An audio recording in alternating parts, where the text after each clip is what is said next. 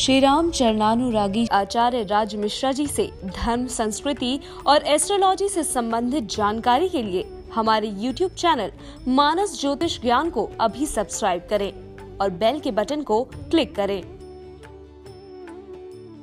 जय श्री राम बहुत बहुत स्वागत है आपका अपने, आपके अपने YouTube चैनल मानस ज्योतिष ज्ञान में। मैं हूँ आपके साथ आचार्य राज मिश्रा नवरात्र का तीसरा दिन माता चंद्रघंटा का दिवस।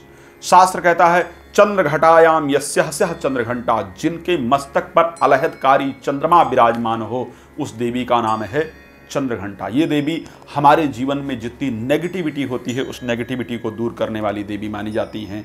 अगर डिप्रेशन से व्यक्ति गुजर रहा है और इन देवी की आराधना श्रद्धापूर्वक कर ले तो निश्चित रूप से इस माता की कृपा से आपके जीवन में जो डिप्रेशन है, वो स्वतः दूर हो जाता है। आपका मस्तिष्क सदैव सचेत हो जाता है। यदि आप बहुत आलस्य अपने बॉडी को ऐसा फील कर रहे हैं कि एक्टिव नहीं है मेरी बॉडी सदैव मैं परेशान रहता हूँ, मुझे समझ नहीं आता क्या काम करना है। तो माता चंद्रघंटा की आराधना निश्चित रूप से आपको नया मार्ग प्रदान करने वाली, नई दशा दिखाने वाली होती है। श्री रामचरित्र मानस में गोस्वामी तुलसीदास जी कहते हैं, गुरु पितु मातु महेश भवानी, गुरु पिता और माता। सभी लोग भगवान शंकर और माता पार्वती हैं। गुरु पितुमातु महेश भवानी प्रणव दीन बंधु दीनदानी। अगर हम इनकी आराधना करते हैं इन माता की तो निश्चित रूप से बहुत कृपा प्राप्त होती है। जीवन से डिप्रेशन दूर होता है। जीवन की जो परिस्थितियाँ हैं, उजाला हो जाता है। जीवन में कोई मार्ग जब नज़र नहीं आ रहा हो, सब कुछ दिख रहा हो कि अंधकारमय है तब माता चंद्रघंटा की आराधना हमें निश्चित रूप से जीवन को सही मार्ग दिखाने वाली होती है। माता चंद्रघंटा की जो आराधना है, वो मध्य समय में करनी चाहिए। माता चंद्रघंटा को सदैव आपको क्या अर्पण, अर्पित करना होता है? आपने हरा नारियल देखा है।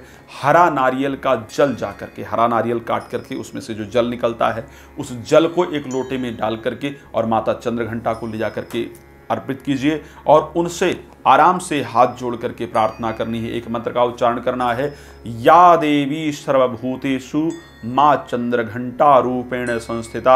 नमस्तस्यै नमस्तस्यै नमस्तस्यै, नमो नमः। सिर्फ़ इस मंत्र के उच्चारण करने से माता चंद्रघंटा की कृपा से आपके मन में जो डिप्रेशन की परिस्थिति वो दूर हो जाएगी।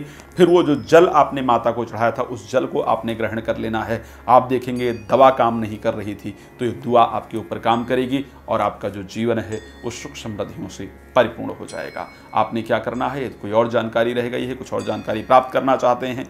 तो आप सीधे संस्थान का नंबर आपके सामने है, कॉल करके अपने विषय में कोई भी जानकारी प्राप्त कर सकते हैं।